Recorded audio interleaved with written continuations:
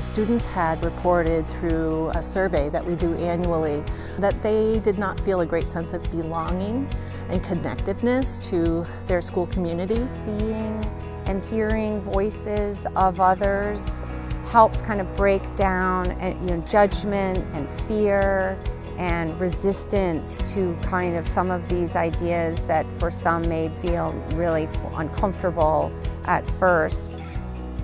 I fight for gender equity because I believe that everyone deserves equal opportunities. Having this reporting process speaks volumes to the progress we've made as a community.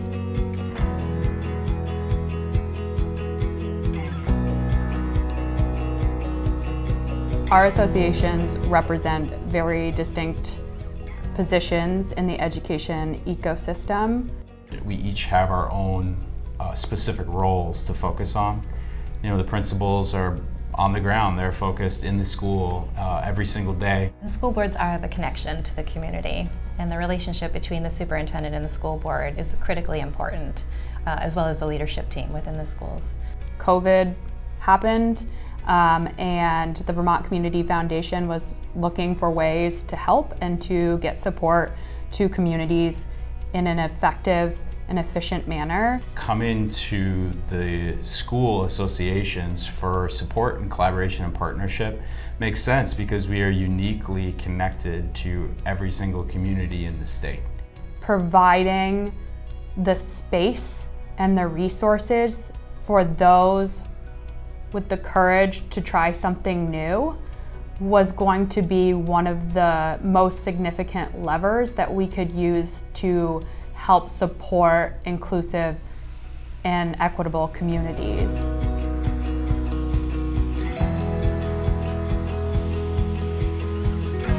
We received, thankfully, $5,000 for a launching of a BIPOC affinity space that included Lamoille South and Lamoille North supervisory districts. So these spaces are really beneficial to our school districts so youth can be themselves and get to know each other.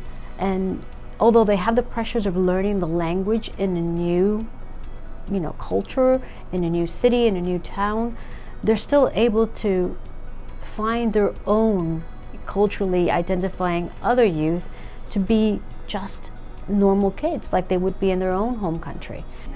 When I just came here, I was pretty alone, you know. It's nice to have them because they speak Spanish as me, so it was like a nice like support, you know, when I just came here. I think we're a, like a family together and I'm very happy to to have them. It's like a break time. It's like a time where where like you feel more free you know you feel like you can speak spanish speak english whatever you want you can like eat I don't know. something and we are share. all good friends so it's like the courage, the bravery, the good ideas, they spread not only within the school, across school districts as well. And that was something really exciting to see. The real focus for our equity mini grant that we got from the Vermont Superintendents Association and the Vermont School Board Association was to create a portrait of a graduate. So students were empowered to be the ones who collected information from the community that said, what do we want from education? Everyone was asked to contribute, what do you want the outcomes to be? And then they worked to put together and compile all of this information it's an aspirational document, and at the heart of it, it is about equity for all. We were recipients of one of the equity grants last year. We started some intentional community conversations around that in advance, and that then helped to draw more people in. For us, the funding was key. Um, we were able to host the community event. We were able to provide food at the event. We were able to provide babysitting, and those are barriers for some people in attending events.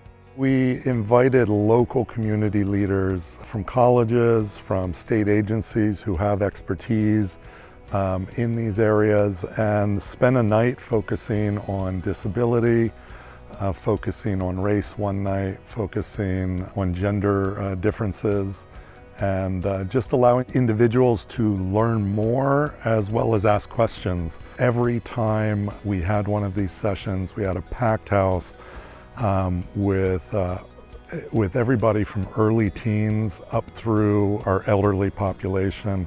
We brought in um, some singer, songwriters, storytellers to do uh, a community event called Race and Song that really elevated uh, some discussion around culturally relevant topics that are sometimes difficult to engage the communities in. And it was a really lovely way to begin that conversation within our communities. Many of the issues that our schools deal with are community issues. Um, by having these sort of forums, it, it it brings our entire community together to talk about a problem and address those problems. In the Burlington School District, they use their grant funds to hire a consultant to help them work through some of their policies, looking at those through an equity lens. We thought this would be an amazing opportunity to use this grant for us to revise our policy um, and uh, include current stakeholders. We look at curriculum, faculty and staff that say, you know, we need books that reflect our student population in our libraries. We want to see um, that our students have access to reading. And that's an example of a project where the work will carry forward for years to come. Uh, so I had a couple of board members, they wanted to do uh, some board training around how to take a board policy on equity and really turn it into action. They're going through all of our other policies, our hiring policies, our curriculum policies, our hazing, harassment, and bullying policies, and they're just making sure that it has the equity policy lens covering it. So it really, it really turned into a pretty dynamic project. These funds were a lifeline for, for us and for them to be able to say, okay, you know, what should we try now? What do you think the school community needs? This work has planted the seed, dipped our toe in, so we can go ahead and start pushing more of this out slowly but surely. I think it's important to recognize that being a welcoming and inclusive community is an ongoing journey. It really was inspiring to receive the grant because it made the board start to think, um, how might we use this grant to do something really to connect the community and create a beautiful outcome that's inspiring. For families who live in very rural communities, this kind of exposure is essential because when people don't know what's happening, sometimes there's an element of fear. When you distill it down to that essential ethos of belonging and justice and access and equity for all, there's very little to fear there, and there is a lot to, you know, to celebrate.